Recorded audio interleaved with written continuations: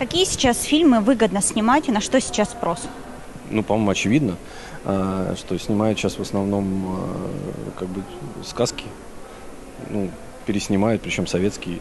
По-моему, самое выгодное. У всех все получается, все, замечательно. А что вы не любите вот в профессии режиссера? Есть вопрос? Ам, Вы знаете, э, не люблю, к сожалению, то, что это, в общем-то, ну, так или иначе, это, это бизнес.